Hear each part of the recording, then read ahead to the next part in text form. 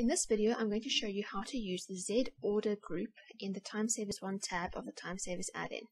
So the Z order group allows you to select any shapes and bring them to the front or the back, but it's a little bit different to how it normally works in PowerPoint. In PowerPoint, when you bring things to the front or the back, they remain in their same order respective to each other, um, just being brought to the front or the back.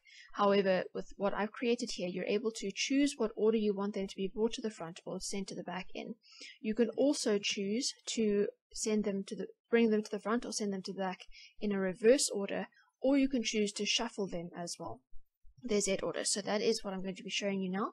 So first of all, I'm going to show you the example where the two buttons over here are the default. So if I click on this over here, it will uh, bring everything that I have selected to the front in the order that I selected it. I need to select the shape that I want to be right at the front first and work my way backwards from there.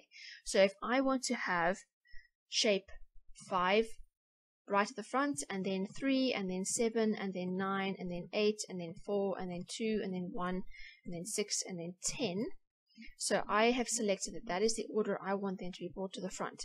Then if I click on this button, that is what's going to happen. Now obviously at the moment it doesn't look any different, but if I align them all together, then you can see now 5 is on the top, then 3, then 7, then 9, then 8, then 4, then 2, then 1, 6, and 10. It's the order that I selected them in from front to back. So the first shape that I select is the one that's going to be brought right to the front, and the last one that I select is the one that's going to be furthest to the back. Now obviously if there if I had let me just undo all of that. If I had not selected all of them, then any shapes that I did not select would be left behind all the shapes that I have selected because everything that I'm selecting is being brought to the front just in a specific order. So anything that I haven't selected is not being brought to the front at all. So it will remain behind anything else that I have selected. So if I were to only select, let me say I would do 4, 3, 2, 1. So at the moment, let me just show you, if I um, align all of them, wait, let's, now let me align all of them. Okay, so at the moment, 10 is on top, then 9, 8, 7, 6, 5, and so on. Okay, so it's in order where the smallest is, right at the back and the largest is right at the front. Okay, so if I want to have it different, where I want to have the 1 on the top, and then 2, and then 3, and then 4, then I will go and click on that. And now let me go and select all of them and align all of them. And then you can see now I've got one on the top, then two, then three, then four. And then it carries on the way it was before, 10, 9, 8, because I didn't select any of the rest of these, so they haven't changed. Okay, so that is um, this button over here where you can select shapes or any other objects on your slide and choose to bring them to the front in the order that you have selected them, where the first item that you select is brought right to the front and then the ones that you select after that are further uh, from the front. Okay, the next thing I'm going to show you is this one over here where you can reverse the order. So now this I put in because I know I have found that I get very frustrated sometimes when I insert pictures. So let me show you over here. I'm going to go and insert some pictures. So let me see, I'm going to insert these ones. And then they get inserted in the order that they were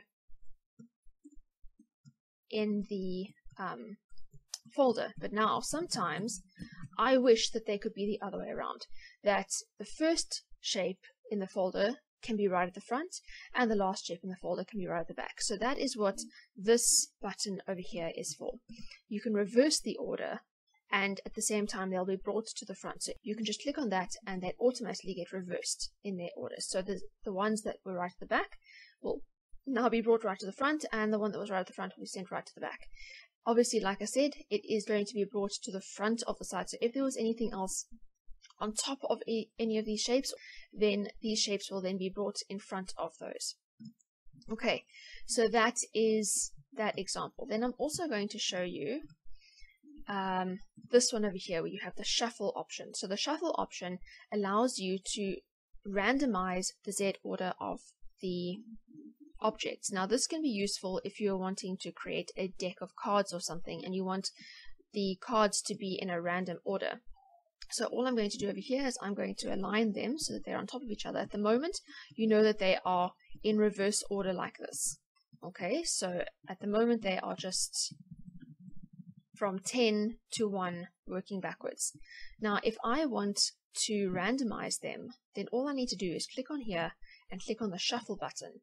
And now you can see that they are in a completely random order. I didn't have to choose what order to select them and choose randomly because it randomizes it automatically. And again, because this is um, in the front section, anything that I've selected will be brought to the front as it is randomized. Okay, so that is the random um, button over there, or the shuffle button rather over there.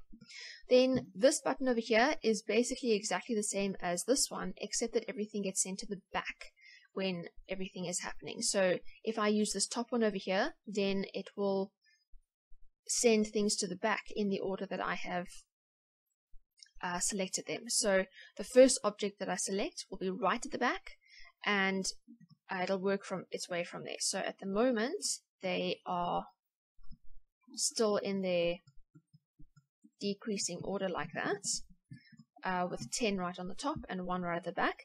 So if I go and click on this button over here, then if I have selected them in a specific order, then the ones that I've selected first will be sent furthest to the back.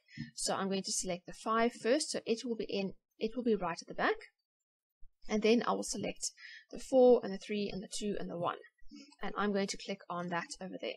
So now those, the order has been rearranged and they have been sent to the back. So if I go and put these on top of each other again, then you can see that I didn't do anything to these ones. They stayed the same.